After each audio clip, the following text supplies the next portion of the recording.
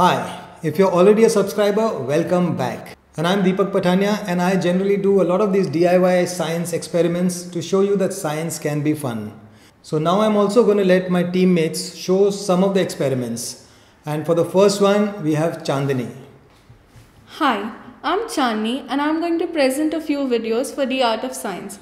So if you're here for the first time, make sure you subscribe to watch Science Meet Fun.